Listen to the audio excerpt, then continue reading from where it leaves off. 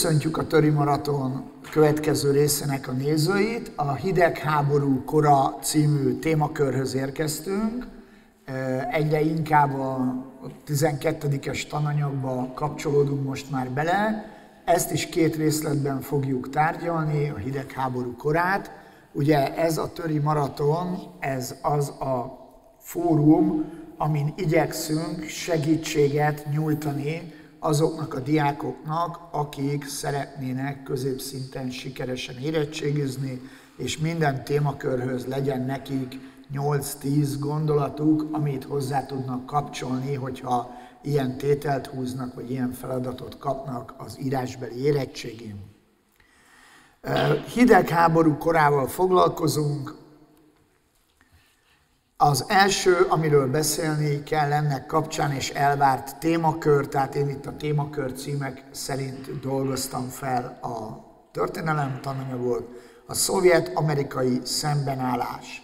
Ugye az 1945-től 90-ig tartó időszakban a fennálló világpolitikai helyzetet kétpólusú vagy bipoláris világnak nevezzük, tehát az azt jelenti, hogy a hidegháborús korszakban két szuperhatalom állt egymással szemben.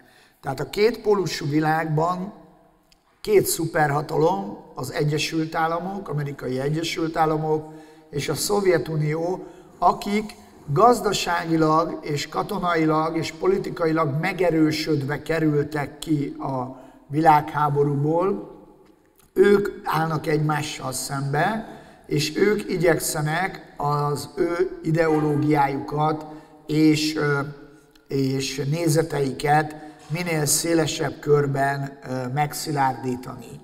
Na most ugye győztesek között volt még Nagy-Britannia és Franciaország, de őnekik a gazdaságuk miatt, gazdasági nehézségeik miatt volt meggyengülésük, és a világbirodalmuk is összeomlott a 40-es, 50-es években, tehát ők, nekik gyengülést hozott a világháború. Ráadásul elsőként ugye az Egyesült Államoknak és a Szovjetuniónak lett atomfegyvere, ami szintén a szuperhatalmak közé emelte föl őket. Hidegháborúnak azért nevezzük ezt a korszakot 1945 és 90 között, mert a két szuperhatalom nem, noha szemben állt egymással, és atomfenyegetés lebegte be az egész világot, pontosan ebből a szembenállásból adódóan, mégsem vívtak úgynevezett melegháborút, azaz nem harcoltak egymás ellen, hanem proxy háborúkon keresztül, tehát kiszervezték a háborúikat a különböző térségekbe, Közép-Amerikába, Afrikába, távol-keletre, és ott vívták meg a harcaikat. A szovjet-amerikai szembenállásnak egy jelképe az úgynevezett vasfüggöny, amit a piros vonal jelképez a térképen. Erről Churchill, a volt brit miniszterelnök, a háborút megnyerő brit miniszterelnök, egy fultoni beszédében 1946-ban beszélt, amelyben arról azt mondta, hogy vasfüggöny ereszkedett le Rostoktól Fiuméig, a Rostoktól Triestig a Európa közepén. Ugye ez azt jelenti, hogy ezen a függönyön ütközött úgymond a két ideológia, és ugye gazdasági területen ez például abban jelent meg, hogy amikor a Marshall segélyt, az európai újjáépítési segélyt az amerikai Egyesült Államok elindította, akkor erre a Szovjetunió által befolyásolt kelet-európai és közép-európai országoknak a válasza nem az volt, hogy elfogadták az újjáépítési segélyt, hanem ö, létrehoztak egy úgynevezett kölcsönös gazdasági segítés társulását, a KGST-t, aminek az volt a lényege, hogy gyakorlatilag anyagilag és gazdaságilag egymást támogassák, de ne fogadják be a nyugatról érkező támogatást és technológiát. A katonai szempontból pedig ugye 1949-ben létrejött az Észak-Atlanti Együttműködés, ez a NATO, és ez ugye fenyegetést jelentett a szocialista világ számára, és amikor 1955-ben fölvették a NATO-ba Nyugat-Németországot, amelynek a kialakulásáról rövidesen szó lesz, akkor, akkor létrehozták a szocialista országok a Varsói Szerződést, amely a kommunista államoknak volt a katonai együttműködése. Tehát ez a szembenállás a háborút követő négy és fél évtizedre állandósult. Egy kísérleti telepe volt ennek a szembenállásnak a két Németország, amely ugye a német birodalom, mint a második világháború kiagyalója, a háborús verességet követően négy hatalmi megszállás alá került. A 18 tartományából 12-t a britek, a franciák, 12 nyugati tartományt a britek, a franciák és az amerikaiak szálltak meg, hat keleti tartományt pedig a szovjetek. És a nyugati tartományokból először 1946-ban egyesítették a brit és az amerikai zónát, ez Bizónia néven, ugye kettős zóna néven ö, ö, szerepelt, majd egy évvel később a franciák is csatlakoztak ehhez, és Trizónia néven hármas zóna jött létre. E, és e, 1948. júniusában a Szovjetunió blokkád alá vette egy, egy számára rosszul sikerült választás, önkormányzati választás után blokkád alá vette Berlinnek a nyugati részét, ugye Berlin is négy hatalmi megszállás alatt volt, tehát az amerikai, brit, francia zónát blokkád alá vették, és minden közutat és vasutat, amely bevezetett ebbe a városrészbe lezártak, úgyhogy az amerikai és a brit légierő egy légi hidat alakított ki, és ezen keresztül szállították be a fűtőanyagtól elkezdve az egészségügyi termékeken át a toalettpapírig és az élelmiszert a városrészbe, és ugye amikor alacsonyan szálltak a repülőgépek, akkor kidobáltak a pilóták cukorkát, a, a repülőket csodálva néző gyerekeknek, ezért ezt a légi hidat elnevezték mazsola bombázónak, tehát mazsola bombázóknak. A berlini blokkád akkor ért véget, amikor a, négy, amikor a három nyugati zónából egységesen 49-ben létrejött az NSK, ami egy föderális berendezkedésű állam volt, tehát egy szövetségi állam, Bundesrepublik, ugye a németül tudóknak ez többet mond, mint a németül nem tudóknak, és ennek az első kancellárja Adenauer lett, aki korábban a náci uralom előtt a Köln városának volt a polgármestere, és nyugdíjba ment, amikor a nácik átvették a hatalmat, tehát nem volt érintve ettől.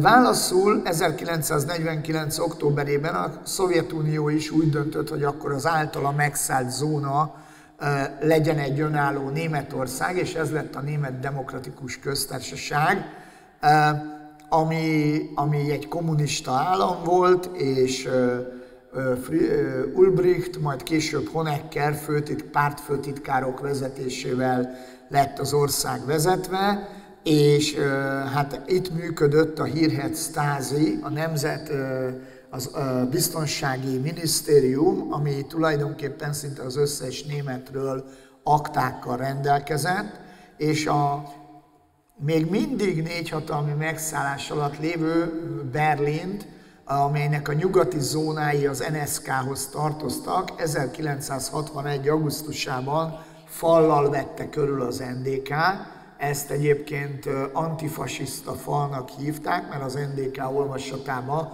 a fasiszták éltek nyugaton, és a, a kommunisták és a demokraták és az ellenállók az NDK-ban.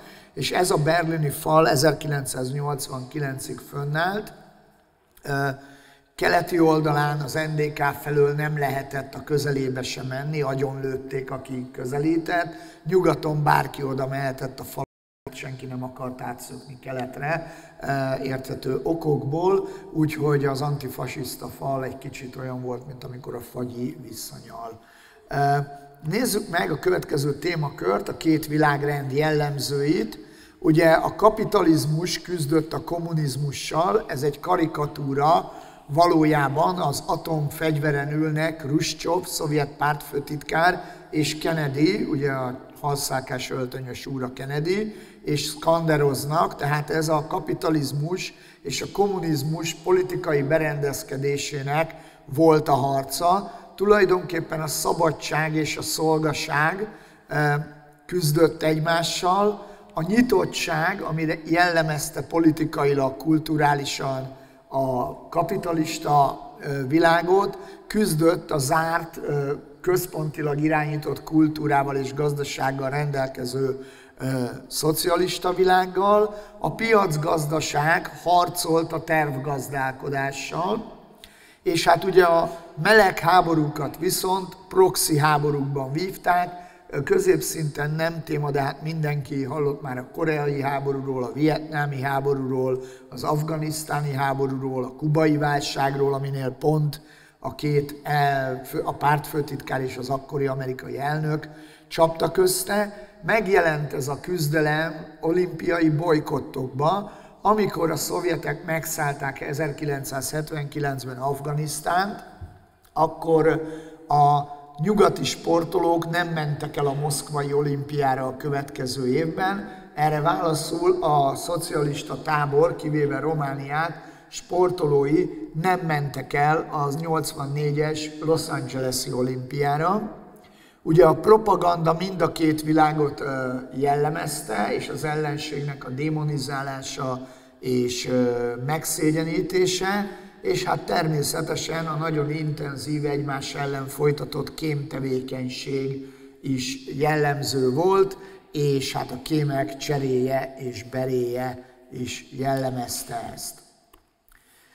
Következő középszintű témakör egy nagy ugrással Németország újraegyesítése. Ugye az NDK, tehát a szocialista, kommunista Németország már az 1970-es évektől mutatta a tipikus válságjeleket, ugye a bújtatott munkanélküliség, az elhasznált géppark, a rengeteg kölcsön, amit föl kellett venni, és hát ugye egyre nehezebb helyzetbe került gazdaságilag az ország, közben a stázinak az ellenőrzése fokozódott, és ugye a keletnémet turisták semmelyik nyugati országba nem utazhattak el, mert akkor azonnal onnan beutazhattak volna Nyugat-Németországba, és abban a pillanatban állampolgárságot kapnak.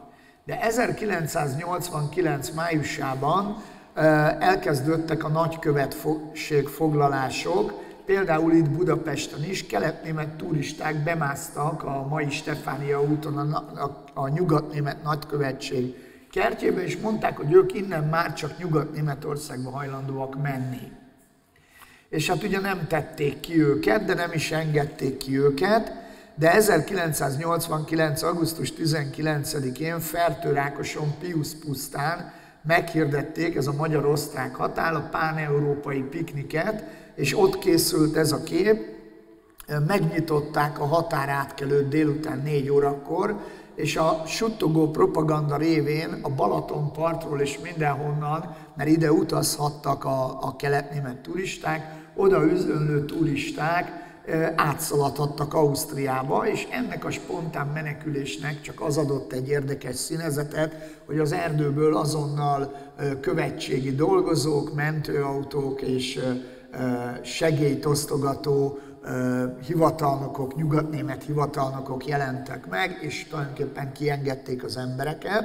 Közben Lipcsében tömegtüntetések voltak, és tiltakoztak a diktatúra ellen, ugyanis ott egy népszerű evangélikus lelkészt meghurcoltak, és ezzel őt akarták így megvédeni, és 1989. szeptemberében Horn Gyula bejelentést tett, ő volt a magyar külügyminiszter, hogy Magyarország nem fogja korlátozni a keletnémet turisták nyugatra utazását. Ennek köszönhetően Nyugat-Magyarország útjai és városai és falvai tele lettek otthagyott trabantokkal és Wartburgokkal, mert egyszerűbb volt kimenni gyalog, mint hogy az autósorba beállni.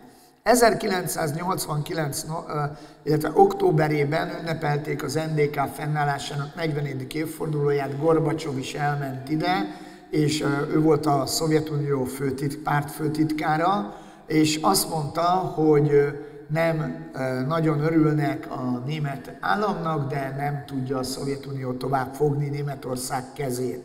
És akkor a német hivatalnokok tanácskoztak, és november 9-én a német NDK TV-ben nyilatkoztak a kormányülés után, és egy ilyen alacsonyabb rangú hivatalnok azt mondta, hogy úgy döntött a, a német, az NDK kormánya, hogy az utazási korlátozásokat feloldják. És akkor egy riporter visszakérdezett, hogy mikortól. És láthatóan nem volt válasz erre, tehát nem mondták meg neki, és nem is tudták valószínűleg, és akkor ez a hivatalnok azt mondta, hogy hát tulajdonképpen ma estétől.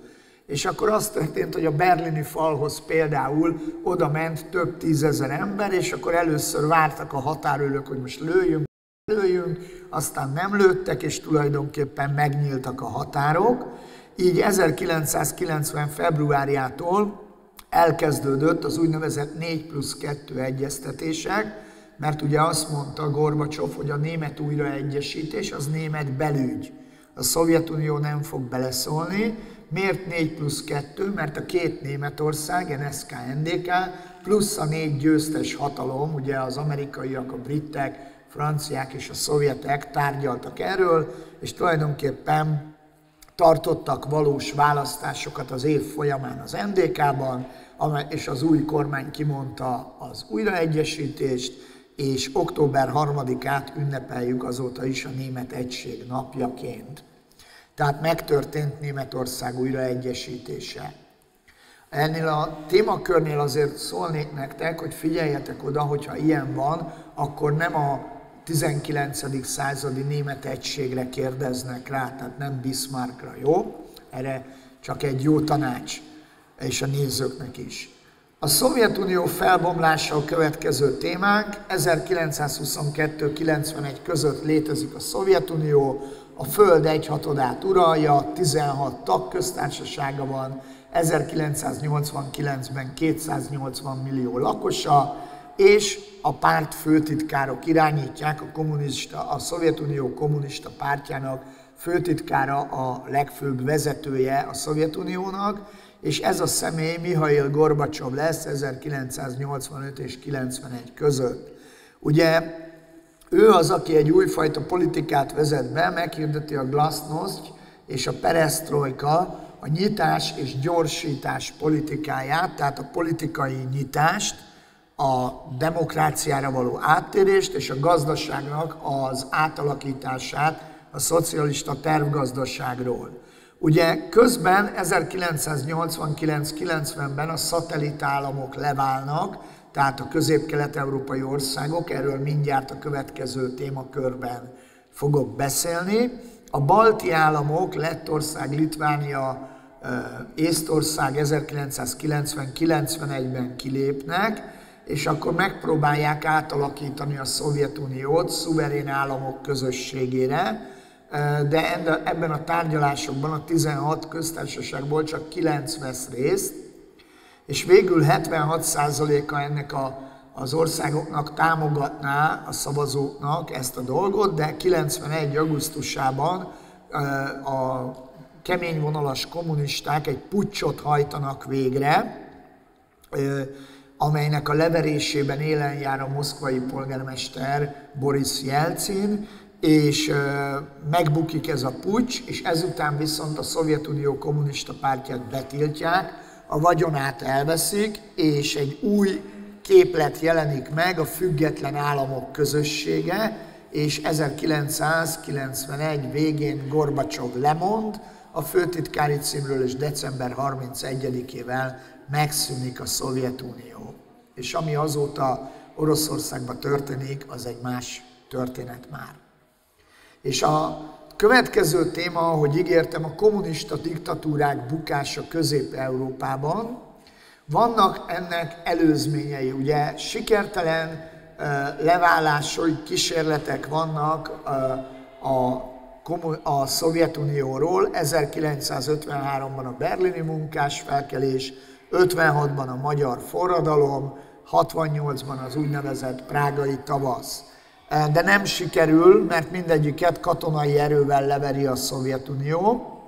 A Lengyelországban 1980-81-ben jön létre a 80-ban a Szolidaritás szakszervezet, amely a Gdanszki hajó, egyébként Leninről elnevezett hajógyárban működik, és Lech Walesa a vezetője ennek a mozgalomnak, és tulajdonképpen ez már a kommunista szakszervezetektől független szakszervezet, és nagyon népszerű, és sztrájkokkal és gyárfoglalással próbál nyomást gyakorolni a kormányzatra, aminek az lesz az eredménye, hogy Jaruzelski, egy katonatiszt, egy tábornok katonai diktatúrát vezet be, szükségállapotot 1981-ben a Lengyelországban, és ez viszont már egy olyan sérülése a Szovjetuniónak, és illetve a kommunista diktatúráknak, amiből már csak ilyen katonai diktatúrával tud kilábalni.